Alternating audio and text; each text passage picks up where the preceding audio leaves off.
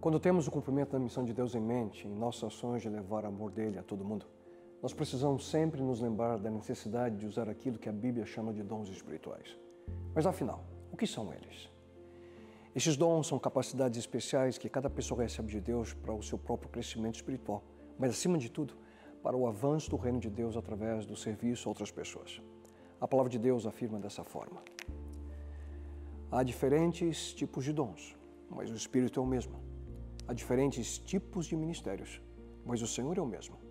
Há diferentes formas de atuação, mas é o mesmo Deus quem efetua tudo em nós.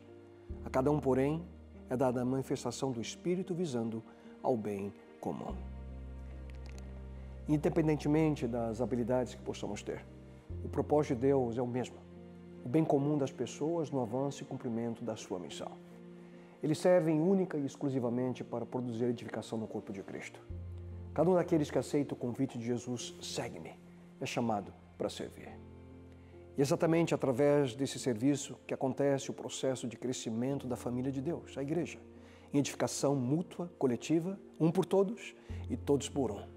E nesse processo de crescimento espiritual, todos são então motivados a servir aos outros, tendo como principal objetivo viver a essência de quem é Deus, amor. Portanto, quem ama verdadeiramente a Deus tem o desejo de servir, e quem serve está vivendo na prática o amor de Deus ao seu próximo. Exatamente por essa razão que Jesus Cristo prometeu o dom do Espírito Santo aos seus discípulos. E ele afirmou: Mas receberão poder quando o Espírito Santo descer sobre vocês e serão minhas testemunhas em Jerusalém, em toda a Judéia e Samaria e até os confins da terra. Você percebe? A promessa do Espírito Santo e os dons que dele provém foi feita por Jesus com um propósito claro em mente, para que pudéssemos ser testemunhas dele. O que Cristo tinha em mente não era dar estes dons espirituais a seus seguidores para que simplesmente tivessem, através dessas habilidades únicas, uma vida melhor ou mais feliz. Não, nada disso. Ele afirma: serão minhas testemunhas. Mas afinal, o que é uma testemunha? Eu nunca estive presente em uma corte de justiça, mas qual a definição daquilo que significa ser uma testemunha? O dicionário define uma testemunha dessa forma: é a pessoa que presencia um fato qualquer e é chamada a depor sobre o que viu e ouviu. É interessante notar que Jesus não nos diz aqui, vocês serão os meus advogados de defesa. Não. Ele também não precisa ser defendido por você. E ele tampouco disse, vocês serão os meus promotores de justiça. Ele nunca disse, vocês precisam forçar as pessoas a me aceitarem. Não, nada disso.